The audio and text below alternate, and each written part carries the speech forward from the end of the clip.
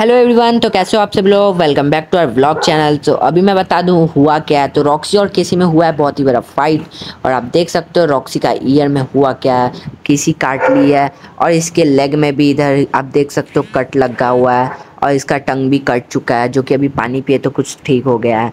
और कि रॉक्सी का इसमें कोई गलती नहीं था रॉक्सी बहुत ज़्यादा इग्नोर कर रही थी, वो रहते रहते इसे भौंक रही थी और अभी देखते किसी को क्या क्या हुआ किसी को ज़्यादा कुछ नहीं हुआ है, बस थोड़ा बहुत ही कट हुआ है, जैसे इसके ईयर में थोड़ा सा कट हुआ है, मैं अभी आपको दिखा देता हूँ।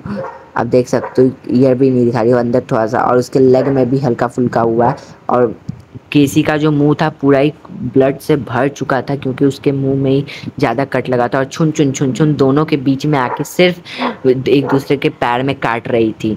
छुन छुन और उस आई डोंट नो उससे भी कुछ हुआ है कि नहीं? उससे तो आई थिंक नहीं कुछ हुआ है। तो यहाँ पे रॉक्सी बैठी हुई रॉक्सी कैसा लग रहा है? रॉक्सी फुल इग्नोर कर रही थी उसको।